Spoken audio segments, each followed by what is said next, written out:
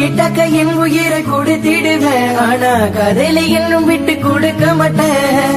பாதியில் என்னை விட்டு விலகி விட்டால் நாளை உனத்துக்கு முன்பு நீ அழுகாது.